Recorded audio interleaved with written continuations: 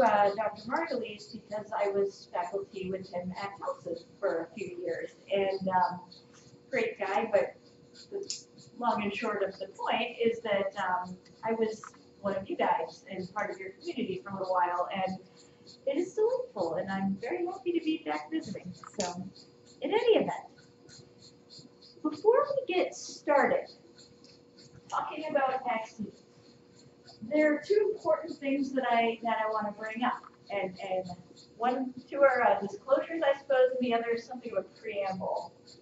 Normally, I just ramble, but not preamble. so, disclosures. I wanted to put these up here because oftentimes, if you're speaking in a positive way about vaccines, uh, people assume that you are in some way being compensated to do so. So, I work for a university. I do not work for any companies. I work with a couple of companies. One is called Kid Analytics, and they are uh, we are working together on a Lyme disease diagnostic test. And another is called Exoximus, and they make a disinfectant for to treat um, um, MRSA and VRSA, surgical site infections. So neither of them make neither of them make vaccines. I used to work in a vaccine center at UConn, but um, we make veterinary vaccines. So in any event, I am trying to communicate that I don't really have a dog in this fight, other than I'm a scientist. I appreciate truth. I'm a person who works in medicine and does not like to see sick people if it's avoidable. And the other part is that I, I am a mom of these two critters, and um, and they have all their all their vaccines. So that's another thing that, that sometimes people say, would you give your kids that? Yes, would, did, all the time, that it was, that it was supposed to happen, so. Those are my disclosures and, and my, and my setup. So I wanted to start this by telling a story. So this is a picture of the classroom that I teach in. It, it looks like a bananas sort of cafeteria, but it's actually a very neat room. Um, this is called Leonard Hall at our College of Medicine. It's got all round tables, and there it's about the size of a basketball court on the inside, and there are six screens around the room because we like stuff in our curriculum. This is related to vaccines, I promise. Um, and one of those things is that every Thursday, for whichever cases we've been working on that week, um, we do a big group session, which we call Team Case Challenge. So there's one big case that's presented by a physician and or co-presented by a physician and a basic scientist, and we ask certain open-ended questions, and we have our student doctors sit at their table and discuss things and come up with treatment plans. So, back in September, I was talking with, uh, with one of my colleagues, and we were planning a team case challenge. And the week that week, uh, sorry, the case that week was a well patient visit. So, you know, we thought, how are we, how are we going to do that? What's what case should we talk about? And uh, my colleague, uh, Kat Brandt, is a primary care doc, and she said, actually, the perfect thing. And she had a patient um, who was a pediatric patient, and he came in with his mom, and his his mom said um, he's had some vaccines, but I don't want him to get any more. And so he had, you know, this was discussed during making of the appointment. So she said, all right, and she was prepared to have the autism conversation. And what ended up happening was mom didn't care about the autism thing. She knew that that wasn't an actual problem and she wasn't worried about that. Um, what she was worried about was that she had read that there were some crazy ingredients in vaccines. And in fact, there was fetal tissue in vaccines. She didn't want she didn't want her kids exposed to that. And um, my my colleague replied, Where are you getting this information? And she said, From the CDC. which the response was, I can't possibly be right, but I don't have that information at my fingertips right now, and so things escalated a bit.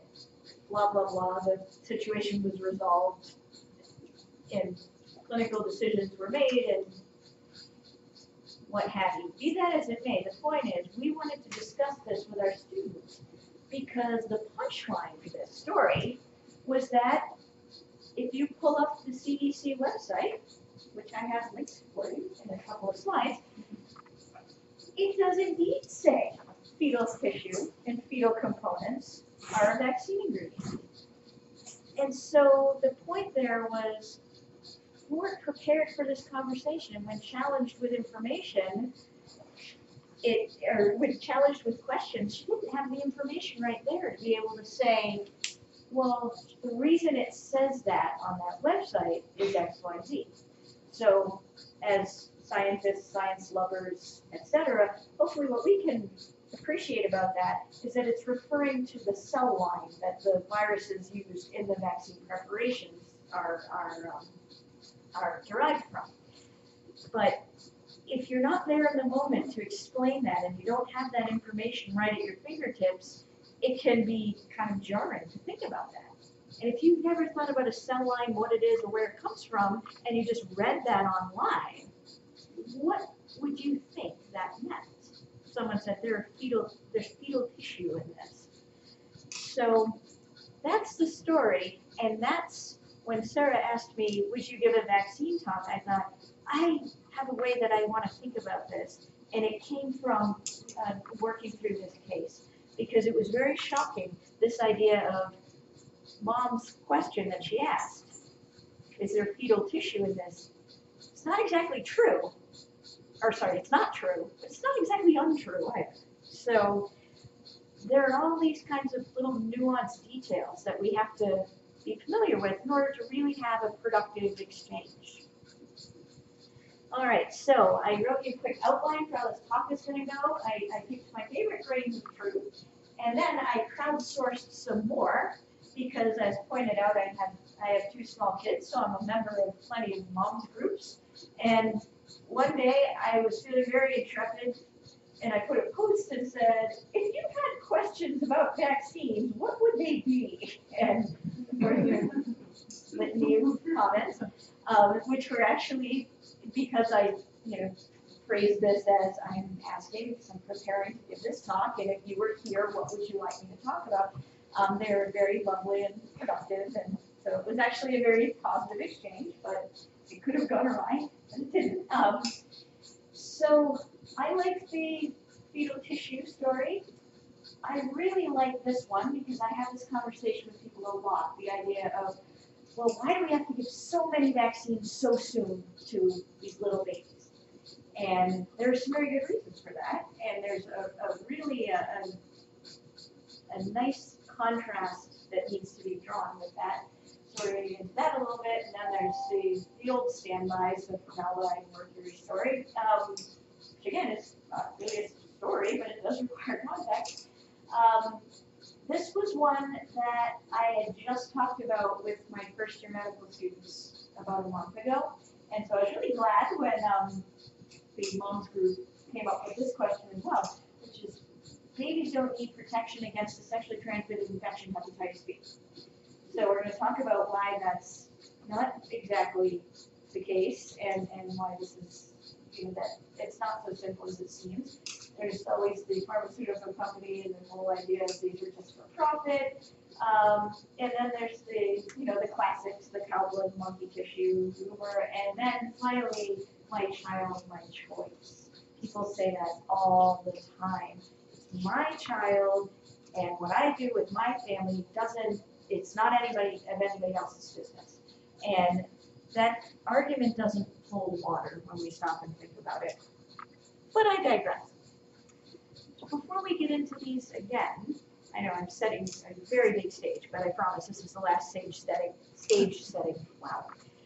I have a clip that I want to play a piece of for you, and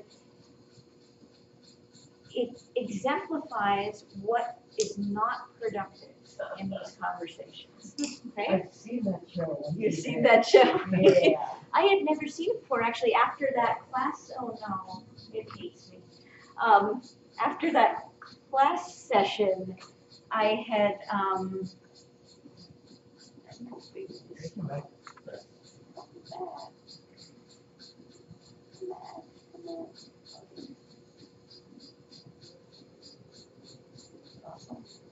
You guys can see all my tabs.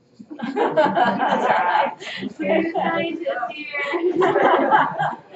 There's my Twitter feed. Um, delightful, all right. The Beast article. We're getting ready to submit an EID paper. Uh, It's about mumps. Um, I think I'm not kidding, it actually. Um, oh, Where's the right one?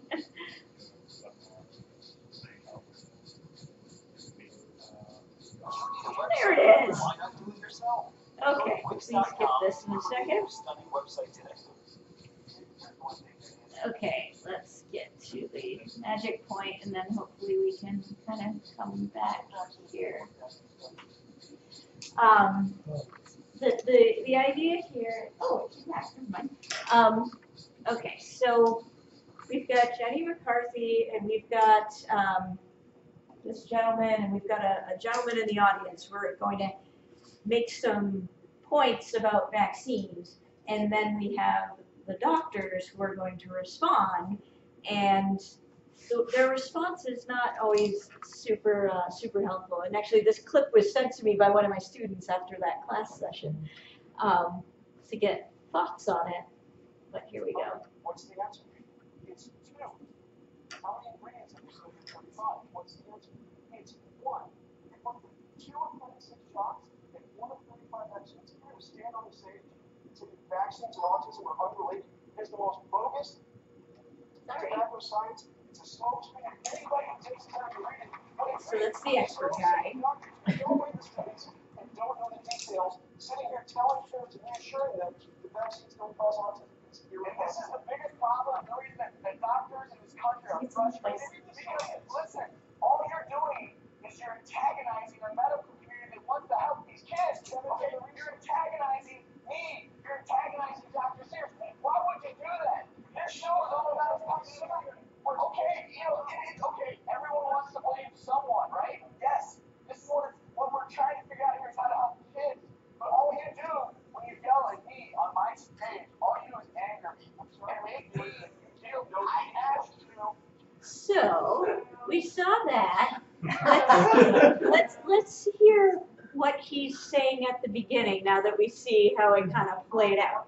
Have looked at as causing autism. So listen to this. Completely bogus. That's such a bogus statement. How many vaccines have they looked at in these studies? How many? What's the answer? It's two. How many ingredients have they studied in 35? What's the answer? It's one. They looked at two of 36 shots. Now, importantly, that is not true, right? That is not true. That is demonstrably not true.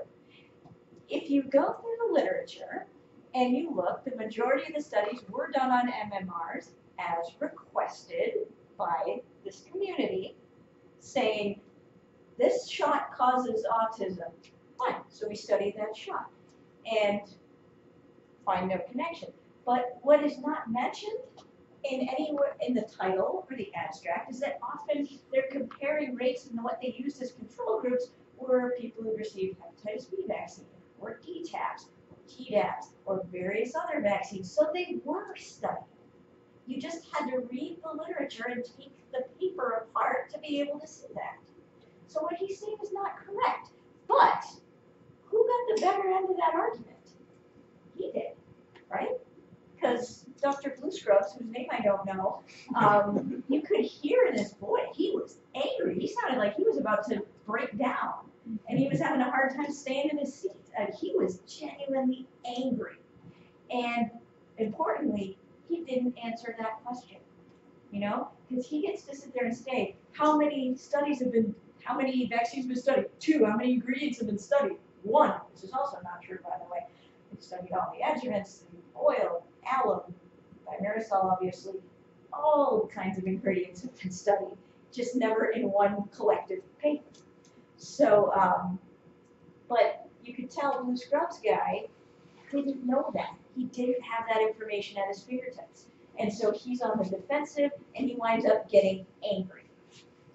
If you're watching that at home, who looks like they know what they're talking about? He does. Is he correct? No, not even close. But he won the argument. And he looks like the guy who actually cares about kids. So, that's interesting.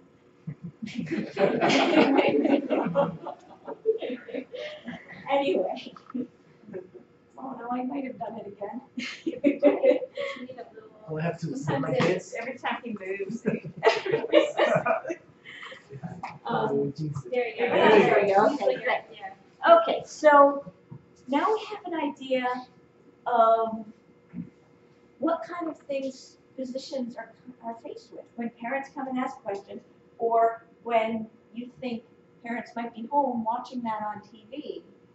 What might they be coming away with? What impression is being made? Okay, so once again, here's our reminder of what we're going to talk about. Now we, at long last, are actually going to talk about them. Okay, so first up, we have vaccines contain fetal tissue. And again, this was the whole thing that got me started in thinking about discussing vaccines in this way of we can't say, no, that's not true. We need to explain the context to people. Okay, so have you no decency? How are you putting ground up fetuses into a from? That's, it doesn't even make sense when you do it, but that's what's online. So basically, the, the big difference here is we need to be very clear about what tissue is versus what a cell line is. So tissue is what it sounds like, it's a hunk of flesh, for lack of a more you know, disgusting term. Um, and cell lines are primary cultured human, in this case, cells that are propagated in the laboratory. And they are incredibly divorced from the original bit of tissue that they came from. For vaccines in particular, uh, with this rumor, there are two cell lines that, that we think about, MRC5s, W38, WI38. So both of those are lung fibroblast cell lines. And where this actually comes from is, I wanted to find the right diagram, but I couldn't, so I made one. Um, so bear with me, it hasn't been, hasn't been field tested yet, but, um, if you had an original piece of lung tissue, uh, both of these were from, uh, terminated pregnancies, one of which was terminated due to a health issue, and both of them were donated with full informed consent um, for research purposes. So you have a bit of lung tissue in 1962 and in 1966, depending on which one we're talking about. Those lungs were dissected, individual cells were extracted. Yes, I know that's not a fibroblast, but you can see it really nicely. Um, and extracted cells are going to then divide and divide and divide and divide in the laboratory. All of those are going to be genetic clones of each other. And if you get a nice population growing, you can split that population apart and start putting them in separate dishes. And if they really adapt well to growing in the laboratory, you can freeze them down and preserve them and then distribute them and they can grow, be grown in laboratories all over the world.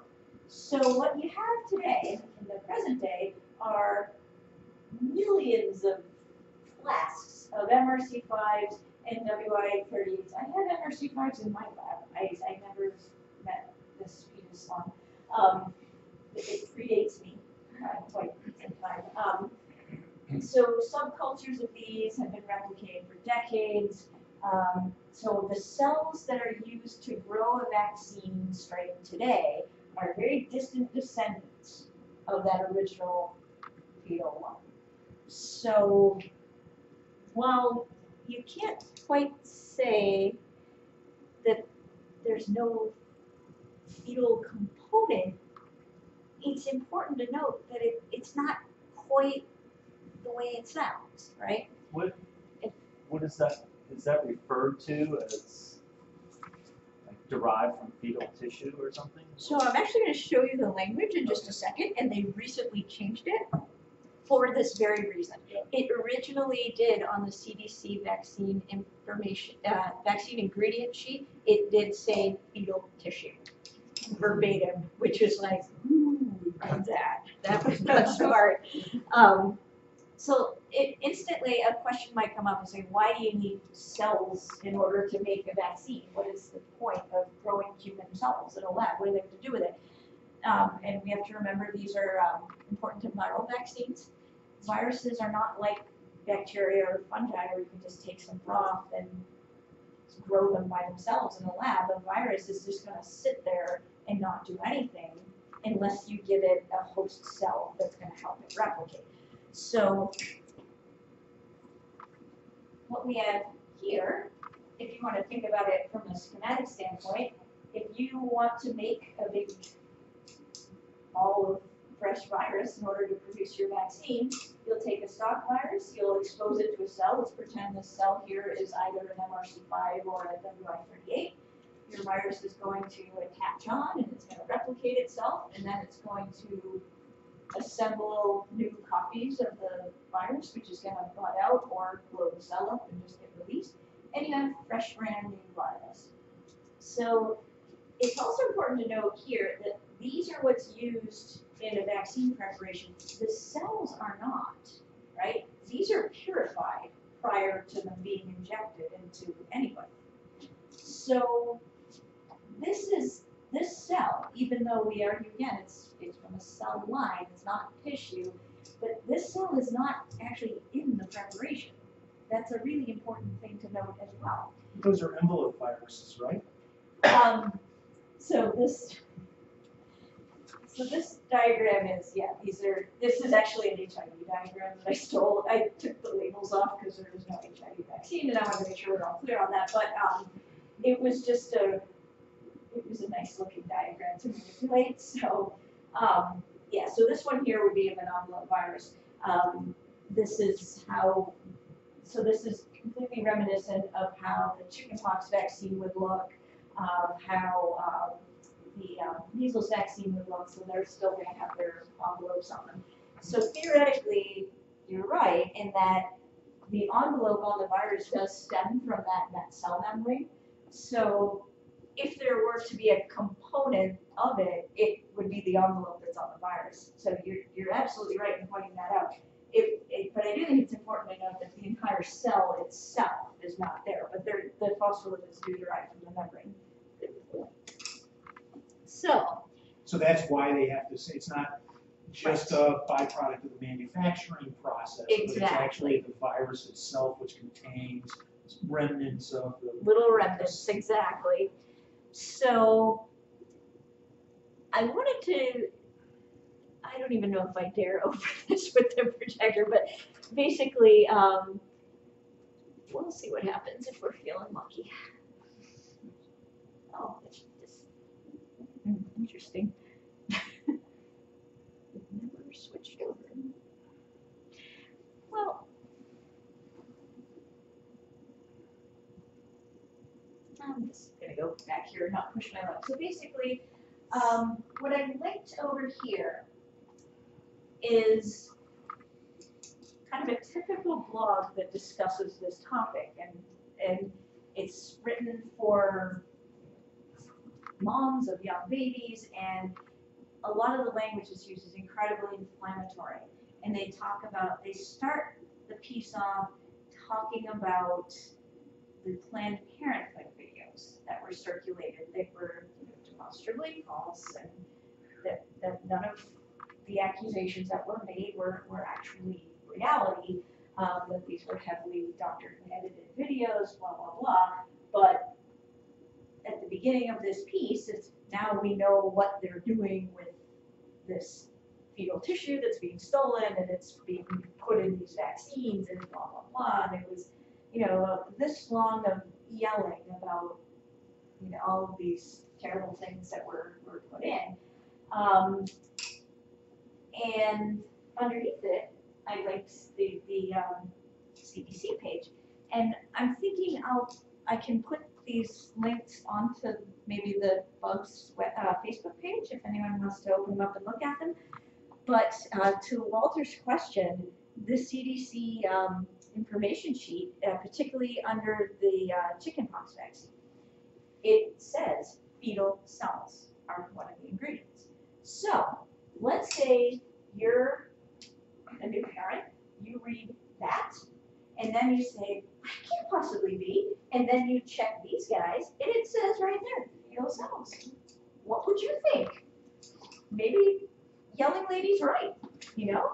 And then if you go to your physician and you ask, and your physician says, no, that's not true, or, well, I can't tell you why it's in there, but just trust me, you need this, you need this vaccine, because the physician didn't know offhand the context of what that meant, all of a sudden, that sounds legit, that sounds real. And so that's a problem. We need to make sure that we know the context when there's something that's a teensy bit true, but mostly not true, but a teensy bit true. If you flat out deny it, you look like you're lying and you have something to hide. When in actuality, it may be just you didn't know the context. So, to sum that up, is there something about fetal tissues involved with certain vaccines? Yeah, there is. Is it what it sounds like? That you're grinding up fetuses and shooting them people? No, of course not. No. And so what's the lesson in context?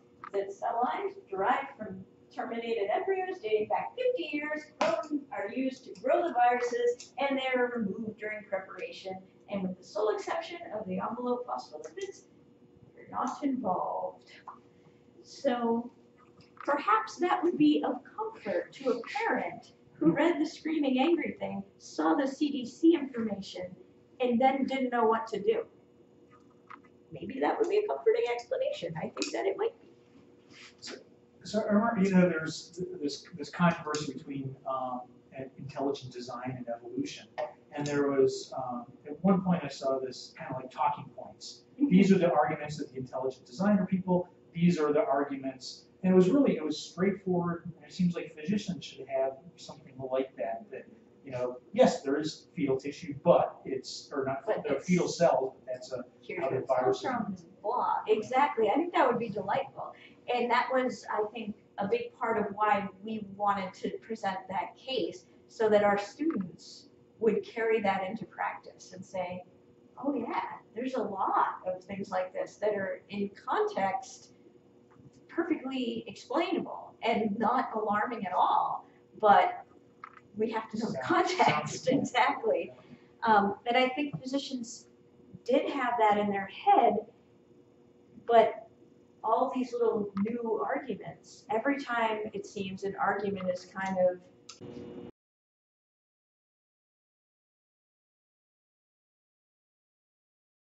okay, well now we're gonna be upset about X, Y, or Z. So it's, it's almost like we were prepared for the autism conversation, but we weren't prepared for the next one. So, now we're gonna move on to the infamous too much too soon argument, or as, as I like to use as a counterexample of curses of Disney World Rally. Um, so, this one we hear all the time. Um, hear it from other moms, I've heard it from medical students even. Um, why do we have to give so many vaccines when babies are so little? And to which I say, genuinely, why, why not? And I'm not meaning that facetiously, but what is that that's kind of troubling to you? And the idea is, well, they're getting so many things at once. And to microbiologists, we're all constantly getting so many things at once, right? We, we know that. Um, there are microbes everywhere. But I think that's not intuitive to, to lots of people. Like, you think, okay, I know technically there are invisible microbes and they're on things and blah, but just how many you interact with on a daily basis, I think most people don't have a good sense for that. And it's, it's a lot. So the idea of, well, if we give so many antigens to a baby, it's gonna overwhelm their system and, and, and cause some trouble. And I, I, I really do understand that. So my thought on this, and, and the example that I like to give to people is, think about a time when you were at Disney World with your kid and they're like hanging on the railing and dragging, and they've been in line for an hour and a half, and you're like, why didn't you get a fast pass? You're like, it costs extra money, and it's a the thing. And, um, so, um, basically, they've been dragging their hand on that stupid railing like every other kid and the nine thousand kids that are in line.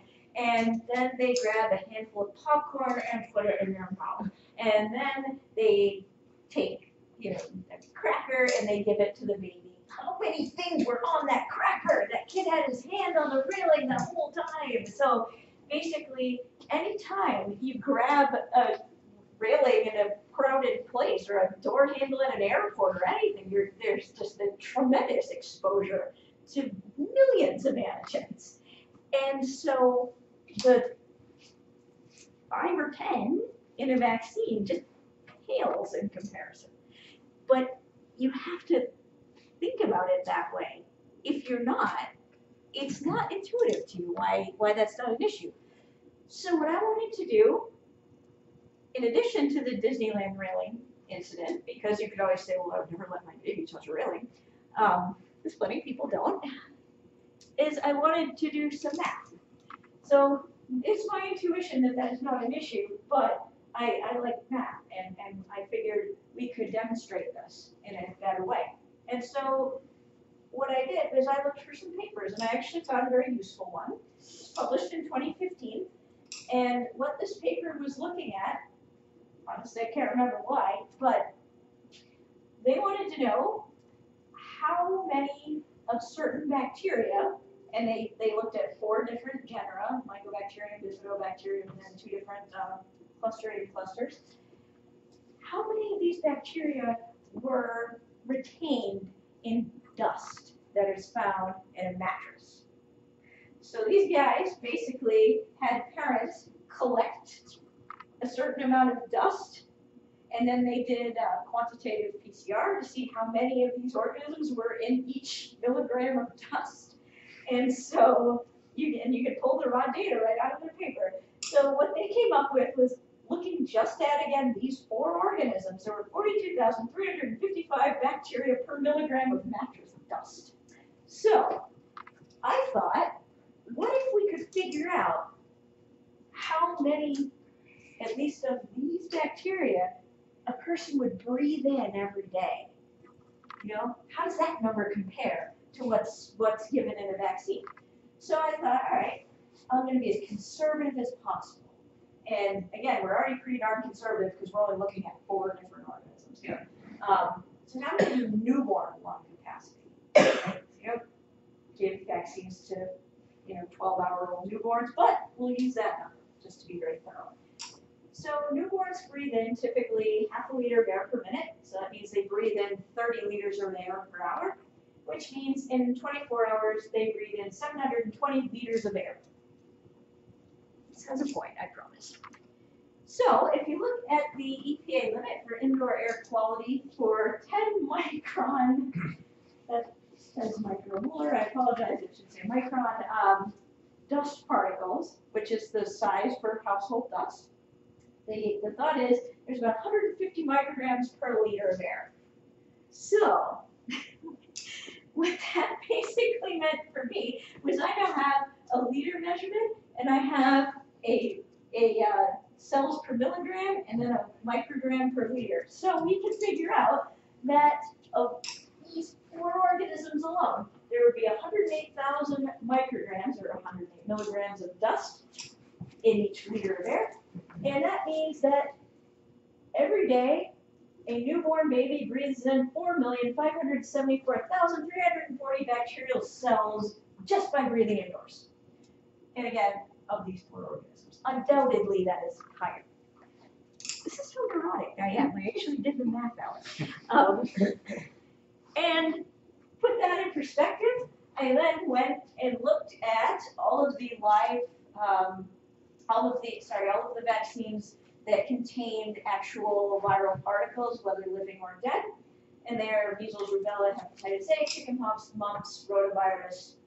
And I went to the manufacturer's page and I looked at the dosing information and I found out how many viral particles are in each dose. So, for measles, it's five hundred, rubella, it's five hundred, hepatitis A, it's seven twenty, chickenpox, fourteen hundred, mumps, three thousand one hundred twenty-five, rotavirus is around a million, and our bacteria and dust. And so then I, of course, had to make a graph, because I like numbers. Um, so this is your organism exposure, this is what you're exposed to for measles, rubella, hepatitis A, chickenpox, mumps, rota, and breathing indoors. So the too much too soon argument, intuitively, it never, you know, spoke to me. But now mathematically, it doesn't speak either, because this is, this is clearly not an overwhelm, an, an overwhelming dose. Um, but where does perception come from? Sure. Um, what would you answer to somebody asking, uh, yeah, but the vaccine you're injecting inside the derma, inside the muscle, it's not something like in contact with the mucosa, like have a you know, barrier, um, So I would actually, I would actually argue that, um, these are all, with the exception of Hep A, these are all mucosal pathogens. So they're gonna do you far less damage being injected in your muscle than they would contacting your mucosa.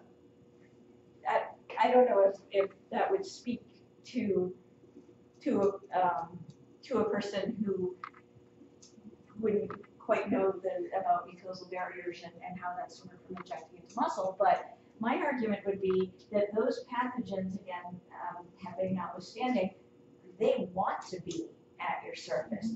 And they're, if you're injecting them into muscle, they're not gonna be happy there. They're not, they're, it's gonna take them a long while to find an appropriate host cell to start replicating and actually causing problems.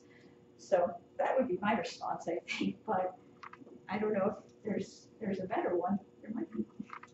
I'll it a. Um, but going back to, to the perception, is it true that there's more, I guess, um, vaccine injections and they are being? It, I mean, it- I- I- it It was a is. statement of fact, is that true? So the perception is, is that a negative impact to an infant's health? In other words, like, are they being administered when they're newborn babies? Because I don't have the, I obviously won't recall it myself personally, but I mean, the earliest I remember getting like, you know, those things injected into my arm was when I was like in kindergarten, I think. Yes, so basically, the childhood schedule as it looks right now, there are more now than there used to be because there have been more discovered. So they've been added to the normal childhood vaccine recommendations. Um, as for earlier, we don't really give any to newborns. The earliest recommended vaccines are at eight weeks old. So at that point, we consider those infants at that. And so we have a series at two weeks. We have some at, uh, sorry, sorry about that, eight weeks, four months, six months, twelve months, eighteen months. Then you have some at four years old, so that would be more or less your kindergarten memory. And then you have a lot more at, um, 10, 11, 12. You get some, some boosters. So there are more vaccines than there used to be. That is a correct statement as to whether or not that adds danger to things, I don't think so. But that's And- the perception of the issue. Right, that there are more than there used to be, and we see more of X, Y, Z in the population. I wonder if those things are connected. I think you're right. I think that is a perception that people have. And it is correct to say there are more than there used to be, but that doesn't necessarily mean that it's too much. It simply means we invented more stuff. And are they concurrent? A lot of them are, yeah. So it's, if you think about it from the standpoint of, um, if we were to be additive with these, so I separated out measles, rubella, and mumps, those all, and, um, chickenpox. Those now all come in one shot, it's called ProQuad. Um, but if you added these particles together, they're still nowhere near the same amount of exposure as you would get simply from doing standard daily activities. But there, there's still an inferential thing that you're saying like magnitude equals impact, and that's not necessarily true either. I don't disagree, but the argument is based on argument equal, uh, on, on, uh, magnitude equals impact, or the source of the objection is argument equals, im- sorry. The source of the objection is magnitude equals impact. So, to me, the answer would be put in the same terms. I agree with you, I don't think it does equal impact, because you have, you know, it- there are certain infectious agents that you inhale, you know, ten particles and you can get sick there are others where you can ingest hundred thousand and you, you won't, you'll be fine. So I, I, scientifically, I completely agree, magnitude does not equal impact, but I was trying to frame the response in the same frame that, that the objection's placed in. Okay. Uh, I just want to add something, if if I can. Sure. But, uh, for example. I'm new here, so I don't know actually. A lot a lot of new vaccines are like, um, Yeah, subunits, subunit yeah. vaccines, they are not the whole virus or the whole bacteria. So actually what you inject is a specific verified antigen. So instead of injecting like several Yeah, the whole know, organism. The whole organism, there's a just- lot of antigens protein. they will face, and you just face one single antigen of the virus. So actually you can vaccinate with, you know, against four different, um, uh, against four different pathogens. But the antigen you, will inject is, um, the number of antigen you inject is lower in terms of Right. quality. a a whole virus is going to have thousands of different um, molecules on its surface. Some of them are proteins, some of them are sugars, some of them are lipids, doesn't matter, but the point is it's gonna have thousands on one virus. If you're using a purified subunit, you're going to have one thing that you're responding to as opposed to that thousands. So I think, if I'm saying your point correctly, I, I think that even though, um, you know, if you, if you mixed together twenty different subunits and just shot someone up with purified measles, even though the measles is one thing versus the twenty things mixed together, that is gonna actually have a higher number of different things your immune system is responding to, even though it looks like it's less. It's sort of like holding up one dollar and a hundred pennies. And, um, so yeah, that's So I'm not the biologist in the room, so what you're saying is that within inside of those, um, virus types, Mhm. there's composition relative to the way your body's responding to it. So in other words, like, let's say, um, first one would be karate chops. So there's several karate chops. You're only administering one version of it, and you're saying that's a karate chop, the next one would be a punch. The next one would be like, you know, an uppercut, jab, or whatever, you're only administering a jab within those. Is that more correct perception? Yeah, I could see that. Well, I'm asking, I don't know, I mean, you're, you're agreeing with me, I'm steering that conversation. So as a scientist, you shouldn't say that. Yes, I understand what you're saying, like, yeah, it sounds right. Yeah, no, I, um, um, even though I, you, I think you got the idea, is what I was, Okay. Yeah. But I mean, but that's what I'm saying, is like, if, if I'm the numbnut in the room, and it- you you explain it to people like in those terms, what? But you're not. No, I am. No, but, you know, I'm like, you guys are all scientists, I'm not, so like, the thing of it is, is like, the whole issue you're going to come back to is contextual framing of what you're trying to get across. And if people don't understand it, you know, you're saying like, oh, the, you know, the envelope of the virus and stuff like that, like, that's a minutiae detail, no offense, that you guys understand, and gals. Like, right, but no one else Nah, can, I don't know. yeah, exactly. you know, jack about that. No, I, I take your point though, so in other words, in your analogy, what would, uh, what the point would, or the nature of the question would be, yeah, you're dealing with punches, whereas the entire virus put together would be a whole mixed martial arts show. Is that, I think that's, Well, I, I was Kinda how- a point analogy out of the air on the spot, like I'm just trying to figure this out.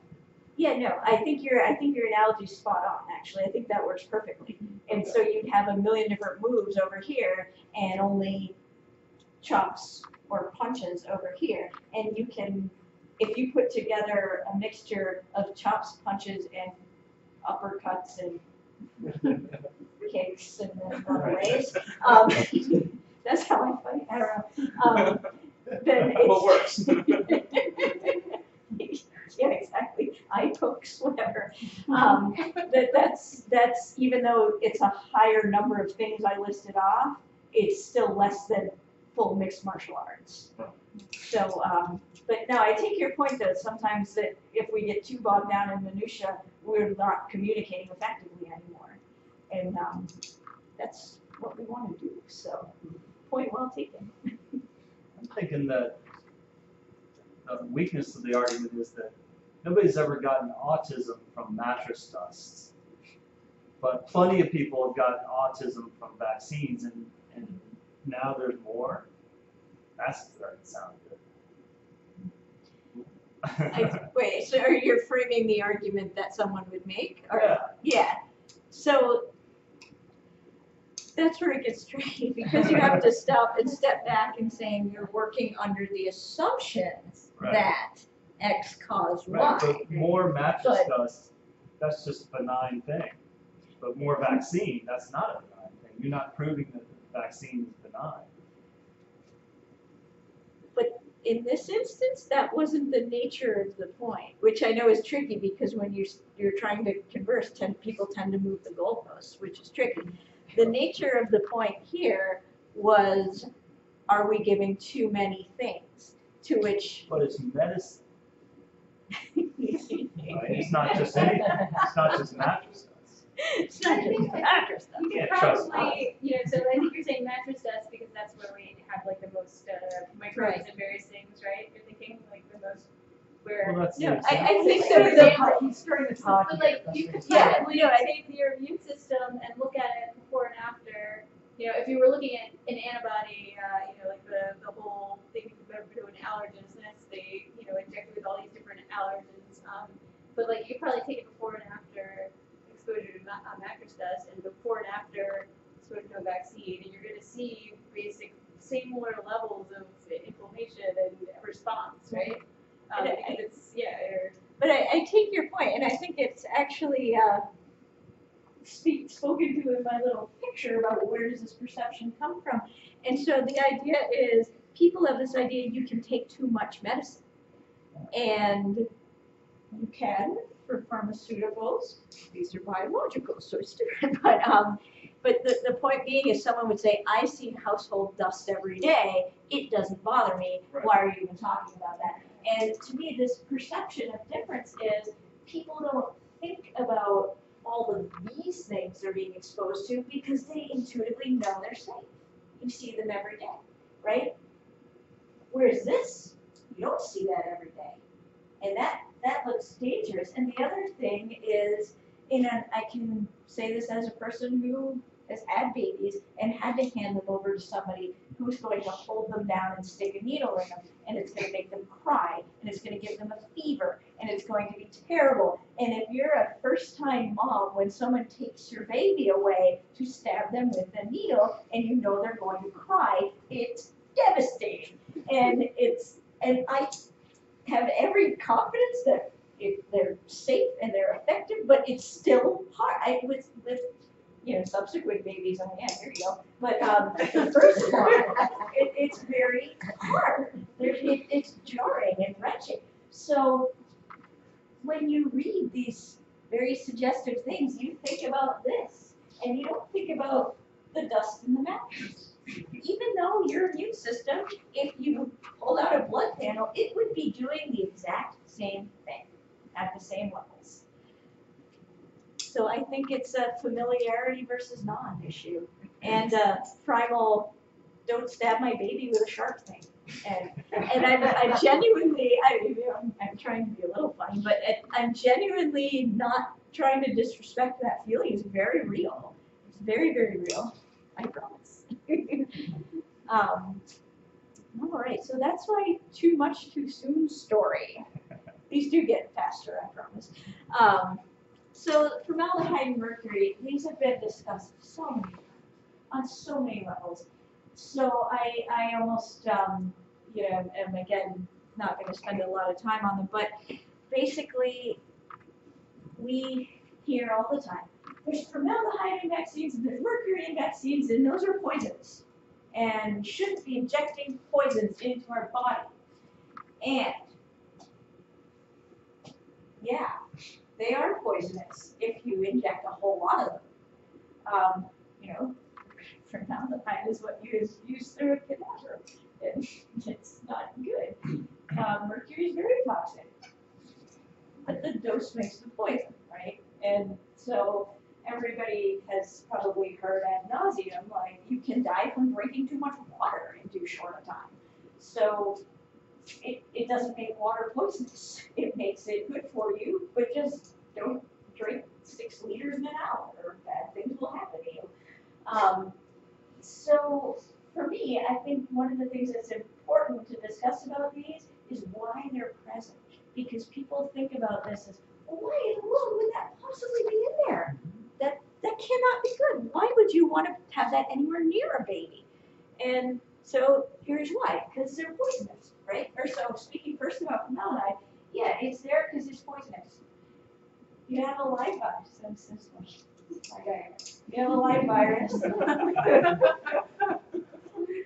you do a montage of PowerPoint shapes and make it green, and that's how you draw a virus. Um, and you give it formaldehyde, and it becomes a dead virus. And dead viruses are good because live viruses, when you shoot them into people, sometimes you get dead people, and then that's a problem. So, because nobody likes dead people hanging around your office. Anyway, um, so we have dead virus plus formaldehyde. All right, great. So you wash it and you purify it, and now you have pure, clean, dead virus, and you have formaldehyde. It got washed away. um, and you have pure, clean, dead virus. Uh-oh, wrong direction. What is happening right now? Sorry. Sorry about that. Pure, clean, dead virus. And you give that to some dude, and then you have it in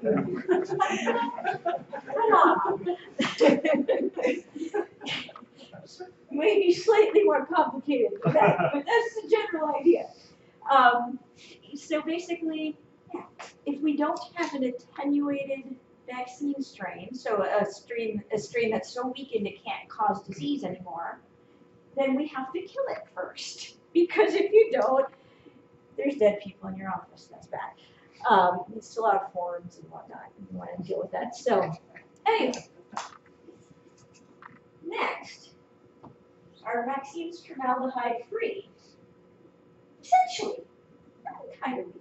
Because when you do that purification process, you remove 99.9999999% of the formaldehyde, but you can't guarantee there's not like three little atoms in there. Sorry, molecules. A chemist. Um, but for context, this is everyone's favorite uh, formaldehyde example. There's more naturally occurring formaldehyde in a pear than there is in a vaccine. So, unless you're worried about big pears conspiracy to make us all less smart, I don't think that we need to worry about this. Big pear. Um, no. There is an actual organization called USA Pears, by the way, which I learned myself. um, the pear industry lobby. I, do- I don't have a pharmaceutical contract, but I am in the pocket of Big Pear. Um, Anyway, so that's formaldehyde. Yeah, it's there, it's related, but we're not shooting people up with big profusions of formaldehyde. So what about mercury? Okay, so the first thing we have to talk about is nobody shoots atomic mercury into anybody because that's incredibly unstable and dangerous and just bad things happen. So mercury is almost always stabilized with either a methyl group or ethyl group. Or sorry, a methyl group or two methyl groups, which would be an ethyl. Anyway, again, not a chemist. Um, so what we have to do here is we tend to colloquially just commonly use mercury as a term, but those two components, ethyl mercury versus methyl mercury, they have incredibly different bioproperties. Um, methyl mercury is very bad. It very readily crosses the blood-brain barrier. This is the kind that you see in um, in uh, high food chain predator fish. So it's the reason why we're told not to eat swordfish more than once a month, which is a bummer because I love swordfish, but that's probably more than you all wanted to know. Um, but that's the one that we hear all the bad mercury stuff about. Ethyl mercury is um, far less penetrative to the blood-brain barrier. I don't want to say it's completely non-penetrative because that's not correct. Um, but it takes a very, very long time for a very, very small amount to get past the blood-brain barrier. And I'll tell you more about this in a second. Um, it actually is a biologically irrelevant amount that you're exposed to in vaccines. So why is this there? So we learned about the formaldehyde with the dead things and whatnot. Ethyl mercury, the trade name which was thimerosal, is a is a preservative. So I put why was it there? Um, there are very few vaccines that still have thimerosal because a lot of people were very upset about this, saying, why are you shooting mercury into babies? Um, again, bearing in mind the methyl ethyl difference, but so vaccine manufacturers responded to their customers, basically, and said, all right, we'll take that out. But why was it there? Um, it was there as a preservative to prevent bacterial and fungal growth. I'll show you in a second why that why that matters. So vaccine doses used to be, school, they, they look kind of dated, but um, so historically vaccines were prepared in these big multi-dose dose vials, and when those were um, when a syringe would go into those and some would be drawn out, there was always the potential that you could introduce bacteria or fungal spores into the vial, which would be bad for the next person. So this was added, the thimerosal was added as a preservative to prevent that from happening. Um, having those multi-dose vials kept the cost very low because you didn't have to manufacture an individual vial for each person getting a shot. You could put 100 doses into one, much cheaper. Um, so, but it was taken out. We now do mostly single dose vials. Why was it there?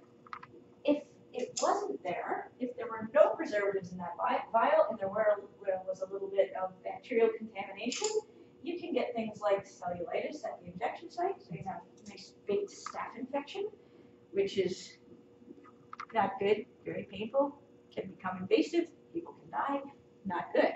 People can lose limbs, everything else. Um, additionally, introduction of fungal spores into, into these injections would have been very bad. And I want to just call attention to something that happened in um, 2012, which was a compounding pharmacy, unfortunately from my neck of the woods, um, the New England Compounding Pharmacy, um, was producing vials of, of uh, a uh, steroid. And these were given as an epidermal, epidural injection into people's spines.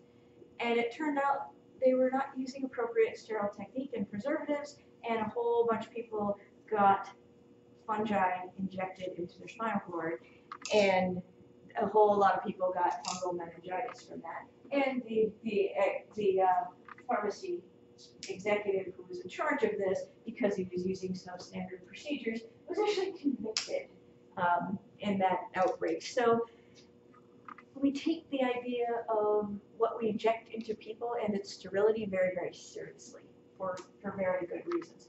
So that was why thimerosal was there, was used to prevent all of this. But now, again, we've moved mostly to single dose vials. The downside of that costs a lot more money. So what used to be a very cheap preventative measure is a little bit more expensive than it used to be. But that being said, um, the other thing I want to briefly bring up was, did anybody hear about this? No. This, this was announced, did you? Oh, sure. Any, um, plans to find an alternative to The thimerosal? yeah, So some people, thought along those lines initially, and, um, and in particular, it was important because in the US, we had this idea of, well, we'll just raise the price. And so, and then very much the same thing happened in, in Europe where people moved to single dose files. In developing countries, that is a catastrophic change in price. Um, and so the idea is, can we keep thimerosal in those preparations that are going to go to other countries? Or can you find a different alternative? So the thought was, at least in the US, it was almost easier to just produce single dose vials because then you wouldn't have to go through trials of having a new addi- additive in the mix. Um, but I think it's an important point because that much of a change in price, doesn't matter so much in the US, it's more of a nuisance, but it matters a great deal in other parts of the world. So, you for president. Yeah, write somebody about that idea. Um, So, did anyone hear about this? The RFK Jr. and Robert De Niro tag Oh, team yeah, yeah, yeah, effort. Uh, so basically, back in February, um, these unlikely pals here um, issued a challenge, and it read as such. We will pay $100,000 to the first journalist or other individual who can point to a peer-reviewed scientific study demonstrating that thimerosal is safe in the amounts contained in vaccines currently being administered to American children and pregnant women. Asterisk, the levels are 25 micrograms ethyl mercury per dose of flu vaccine administered to pregnant women and children following CDC ACIP guidelines. So, technically, they're not wrong. There is no study that specifically says that. However, I of course wrote up a three-page submission to the heard anything sadly, but um, because I'm me and that's the kind of shenanigans I pull. Basically, much as with the dust study, I went and grabbed a bunch of papers and said, you know, my first thought was that can't possibly be right. So I went to PubMed and I went, after about an hour, I said, you know what? I think they're technically correct. Nobody did that study exactly as they worded it. But as per usual, the data exist. They're just spread in three or four different studies. And you just have to put them together into one thing and say, yes, this is safe. So basically, what we found is there's, or so what I found when I looked through, is there's several papers showing, you know, if you um, look at rates of children with neurodegenerative disorders and who received, um, in, in this one particular paper, they were talking about the hepatitis B vaccine, um, and what dose of mercury was associated with that. Um, rates where you had completely equivalent to background fell in the 25 microgram range, and at higher than that, you actually did start to see elevated rates of, of, um, of neurological diagnoses in children. But at the biologically relevant rate, uh, sorry, biologically relevant level of ethyl mercury, there was no difference to controls. So, fine. So I, I, referenced that study, and I said, I recognize this was done with hepatitis B, but since your objection is ethyl mercury, it should not matter what that was compounded with. Um, and then after that, we went on to show some, you know, we found some papers where they looked directly at neurons in uh, cell culture dishes. They were looking at neuron toxicity. And basically, they, they did exposures of ethyl mercury and looked at the time until you started to see cellular degeneration and, and negative effects. And it turned out that they went through and they did a titration and they found that um, at a certain level of, um, of ethyl mercury, you were going to see toxicity after a certain number of hours. That level was much higher than 25 micrograms, and that number of hours was not very huge. So I then went and said, what's the half-life of ethyl mercury in a human body? How long, in other words, if somebody shoots you up with that, how long does it stay in your body? So I went, and found that number, And that number was much higher than this number. So what I needed was to come up with a mathematical relationship between this and this.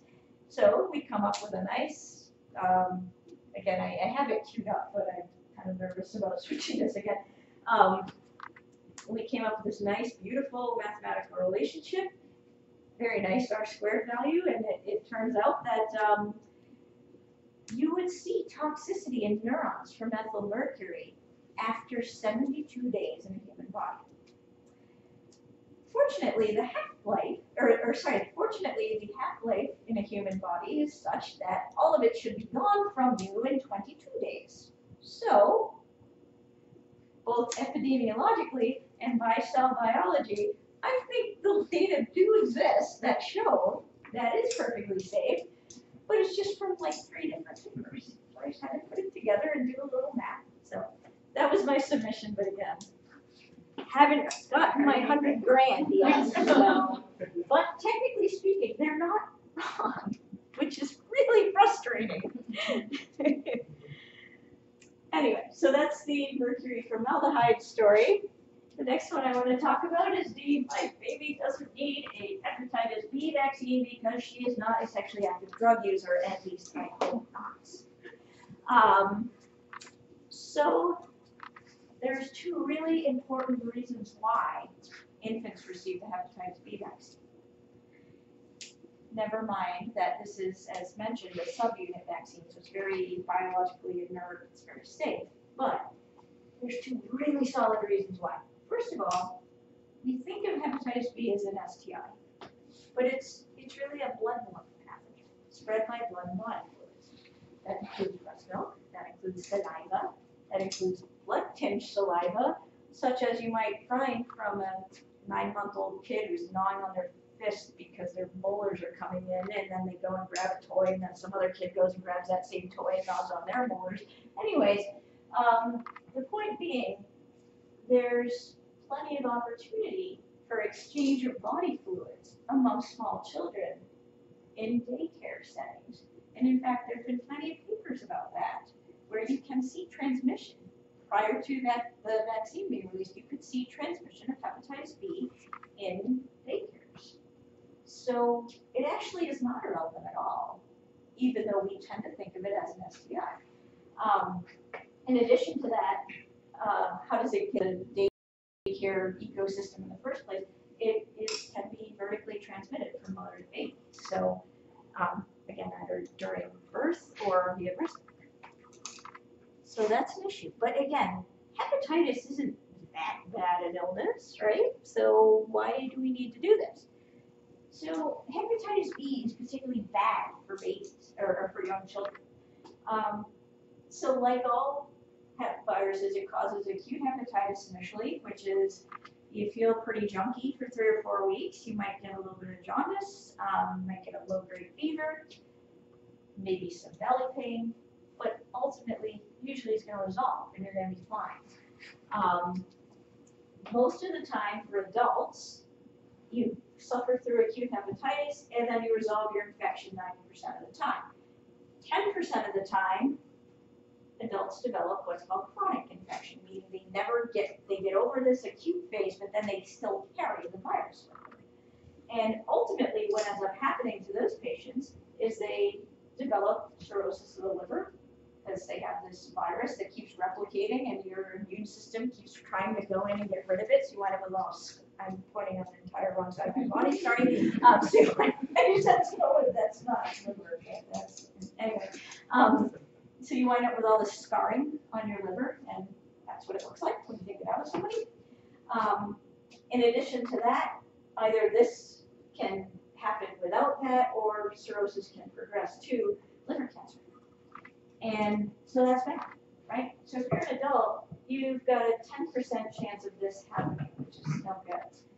If you are a child under the age of five and you are infected with hepatitis B, you have an 85% chance of this happening and only a 15% chance of resolving.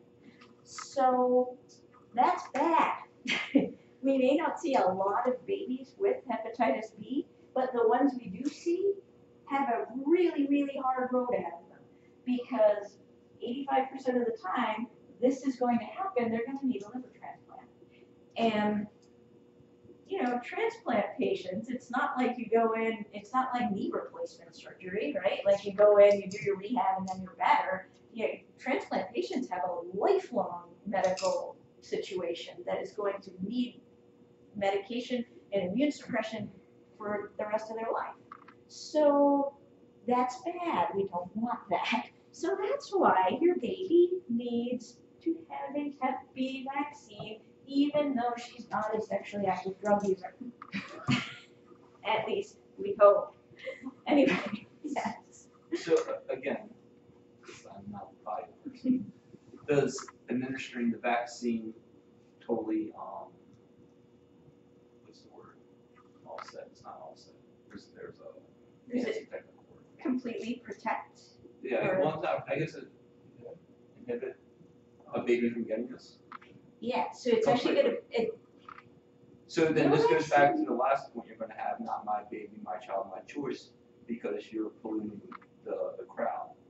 So you're saying like, the argument is this, like, you know, my, my, you're like, my, my kid's not a drug user, but there's a vertical transmission thing. So the right, vertical transmission is gonna have, happen maybe potentially with a person who hasn't had this, they're injected into a crowd of people that may not have it. right. So, So actually, this, this kind of like goes into your other argument as well, right? more or less, I. Yeah, I might be, I might, I think I'm missing a link here, um, but, Well, The so, so the- saying, well, the potential, I guess, um, vector mechanism can be vertical, you're saying? Right, so vertical means from mother to child, Right. right, so So I don't that's, think, like, I've had a hepatitis shot, right, probably not. Um, but then, but the flip side of that is that a lot of maybe, um, mothers now may not have that either. They may have gotten it through whatever, maybe like a tattoo or something like that. Is that correct?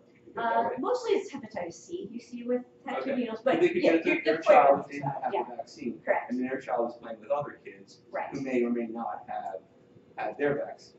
Right, exactly. So that's why I think it's so important to talk about this, because I think you have somebody saying, well, I don't want my baby to get that, but you don't know.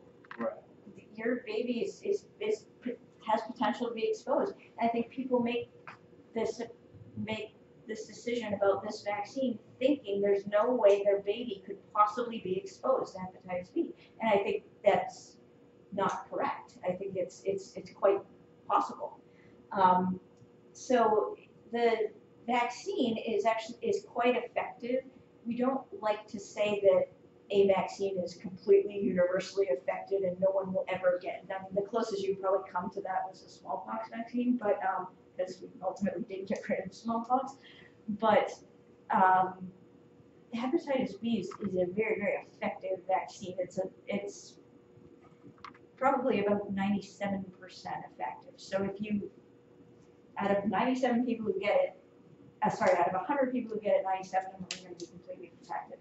And so, I really like to see that, um, because I think this, there's an extreme danger to young children, but also people think there's no way their baby can be exposed, and that's just not true. So, In any event, that's my hepatitis B story. So, I'm not gonna spend a lot of time on this, but I just have two little graphs to show you. So people sometimes argue, you know, this is just the pharmaceutical company trying to make money and that's why these are required, we don't actually need these, and, um, I, every time you talk about this, everyone says, you're a shill. I drive a much better car. Anyway, I assume, I guess they get paid well. Um, so basically, this is, um, this is a, an economic breakdown of annual profits from vaccines in the United States. So, um, these are billions of dollars. So annual revenues are about twenty-four billion dollars, which sounds like a lot, but when you take all of these various things out, um, it's actually two and a half billion dollars, which is, sounds like a lot to me, but I recognize to a company is, is, is not very much. Um, and that's all vaccines sold in the United States, so that's spread over several companies, blah, blah, blah. What I want to juxtapose that number with is, is this, um, which is the economic burden associated with vaccine preventable diseases. So, um, that's the total US burden, that's total, um, developed world burden. So, in other words, these are costs that were very easily preventable by higher vaccine coverages. So, to me, it kind of looks like, um, if you want to be angry at amounts of money changing hands, be more angry at the hospital. And if they were really evil and wanted to sell things, they would not make vaccines, they would make drugs because then they could sell more of those. Is is Um, that data from like OECD or where, where's that kind of, where'd you get that kind of data? So that was, Do um, you remember? yeah, from OECD. Uh-huh. So that was that. It was put together very nicely in a single article, which was very convenient for me. So the argument that I le- I always say to, to this is vaccines are not particularly profitable actually, and a lot of companies have shut down their divisions for them because they're not profitable. Um, so there you go. All right, cow blood and monkey organs—just is a quick one. Um, I think I was gonna say that sentence today, but there you go. Um, this goes back to that idea of growing viruses in cell culture that we talked about with the fetal cells and fetal tissue uh, idea. Same deal for the monkey organs. Um, this is just a, simply a different cell line used to grow different vaccines. It's the exact same principle that's being applied here. The monkey organs are referred to BGMK cells and or Vero cells. They're both cell lines derived from monkey, uh, two different um, species of monkeys' kidneys. Um, so as before, we were talking with the fetal tissue, the cells themselves, with the exception of that small components, are not actually in the preparation. They're just used to generate the new viruses. Uh, the cow blood is um, fetal bovine serum. So this right here is a bottle of what we call cell culture medium. So if you want to grow these cells in a laboratory, you have to use a special broth to do it. And a component of that broth is fetal bovine serum, which is exactly what it sounds like. Um, fetal calves are taken out of mom and exsanguinated, which is we polite, I know, sorry.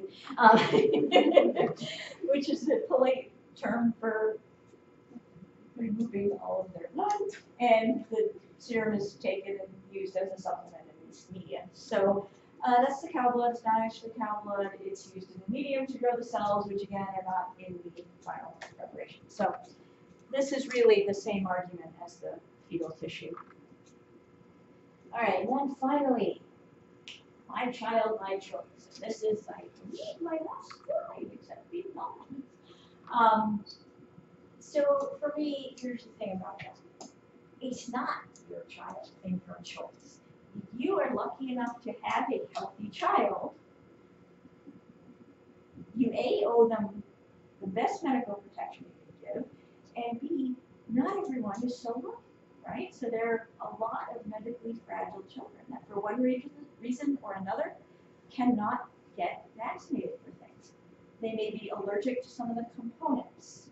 Uh, they may have a dysfunctional immune system. They may be a cancer patient on chemo.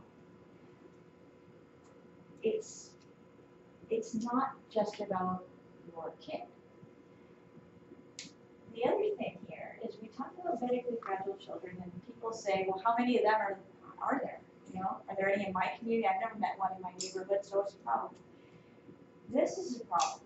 And I had a very, like, rather personal experience with this. Young infants are the problem. There are plenty of them in most of our neighborhoods. So, quick story. Um, in 2013, there was a measles outbreak in the Northeast and in California, and there several in California since then, um, primarily in unvaccinated individuals. And there were cases in New York City and in Boston and various other points in between, in Hartford and everywhere else. Um, so this article is from the Boston Globe. It was published September 29th, 2013. So September 26th, 2013, this happened. So that's that's my baby, William.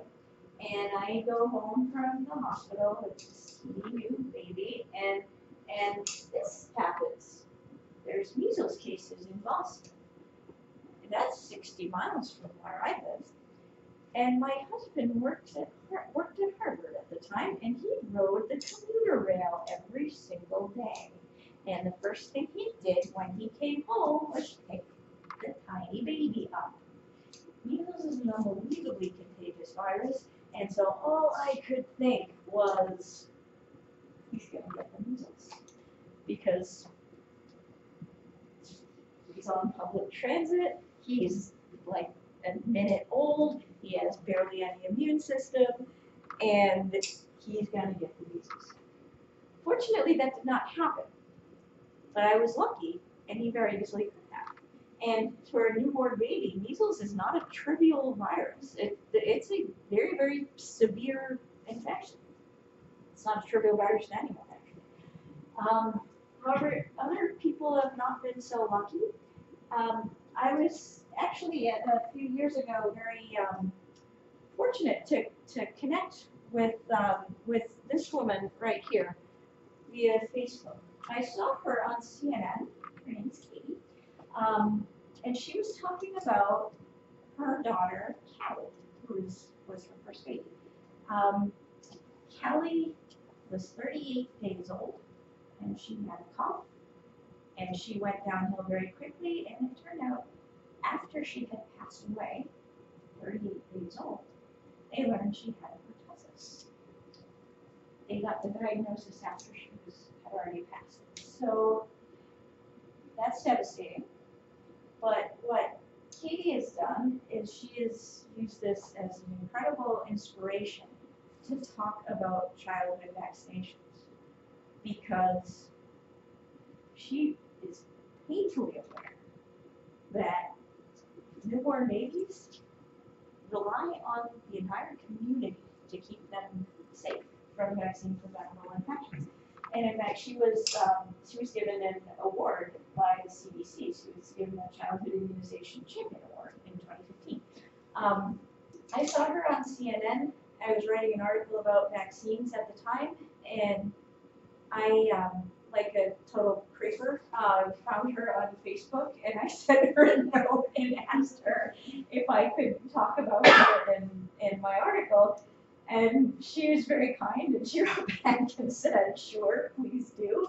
Um, the more people who talk about Callie and um, and their organization, which they call Callie Cares, um, the, the better." And so, yeah, now we're Facebook friends and we chat. But anyway, the point is, um, this this is not an abstract thing. I mean, this really happens to people, and so every time someone says, "Well, it's my child," and what I do with my child is none of your business, it just makes my skin crawl because that is not true. Um, And with measles, we, we can't vaccinate until one year. One year old, One exactly. year. So you have a whole year waiting for it. Exactly, and one year is only the prime, they're not fully covered until eighteen months, Right. so it's, um, Terrifying. it is terrifying, it's very terrifying, and so, there, there's a community health angle to this, but the other angle is, um, you know, in the clinical world, there's nothing sadder than talking to somebody who's been in the PICU, taking care of a kid who's six years old and in the PICU with pertussis. Because it's totally preventable and their parents are heartbroken because their parents thought they were making a healthy choice by not getting vaccinated. And now their parents have to live with the fact that they're looking at their kid in the PICU, their kid might die, their kid will never have normal lung function after that. And it was, didn't have to happen. It was totally, it was preventable. So the other reason why I really like to talk about this is because it's important that we help people make informed choices that they aren't going to regret. So that is my spiel. So I want to thank Sarah and Tom, who tolerated my very vaguely interesting company on the way back from the airport. And Sarah invited me here, and Tom bought me a meatball sub, so that was awesome. And, um, and I want to thank uh, Mary Margulies, who introduced Sarah and I, um, my, my uh, colleague Kat Brent, and also uh, the swearing and sharing moms on Facebook, because that was the group that I posed my question to. What would you want answered? What are some things you've heard? And uh, I think we kept the discussion very simple in, in that group. So thanks, guys. Um, happy to take any more questions.